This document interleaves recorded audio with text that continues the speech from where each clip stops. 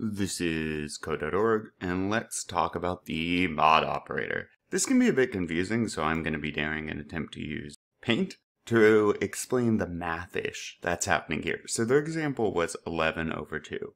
And the mod operator looks like a percent sign because, hint, it's a percent sign. Boom, boom.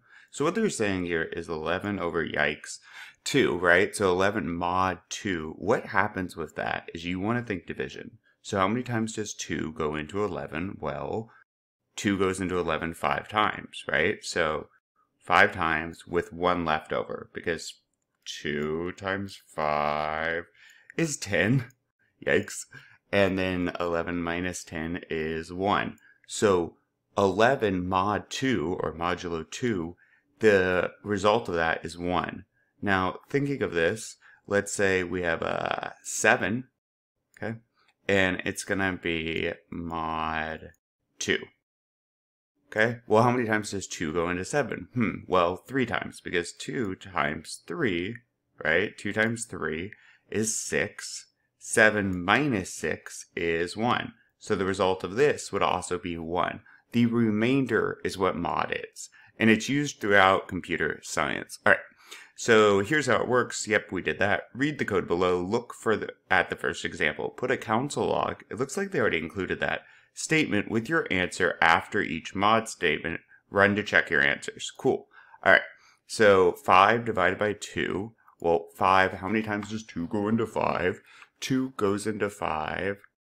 Oh, I think they gave us an example. Yes, they did.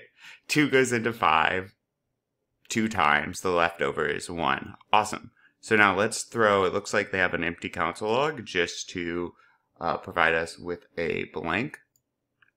And of course, um, well, we can leave this blank, but they always bother me, so I'll drag it off.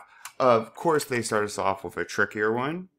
And so 2 mod 3. Well, how many times does 3 go into 2? Not at all, right? That's not possible. 3 does not go into 2. It's a fraction. So what's the remainder? If 3 goes into 2 0 times, 3 times 0 is 0. And the remainder then is 2. I'm going to kill the quotes, which it sometimes fights you on. Let me highlight them all. There we are. And so the remainder of that would be 2.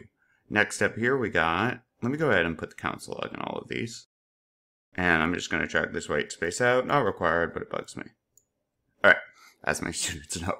Uh, Alright, so how many times does 2 go into 10? Uh, well, 5 times. And that goes in evenly, right? 5 times 2 is, shockingly, 10. So the remainder then, okay, now let's look at this. 4, how many times does 4 go into 2? Well, 4 goes into 2 0 times, right? So since it goes in 0 times, 4 times 0 is 0. So what's the remainder? 2.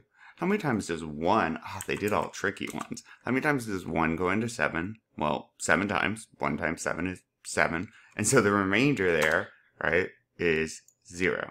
And I think we got them all. Let's go ahead and hit run and see. And it should pop up down here is what you're going to be looking for. So the first number is what I put in, right? Uh, the first number is their result. So the first answer is 1, and then we put in 1, blank line. Second answer is 2, we put in 2, good job. 0 and 0. 2 and 2 and 0 and 0. Got them all. Awesome. Onward.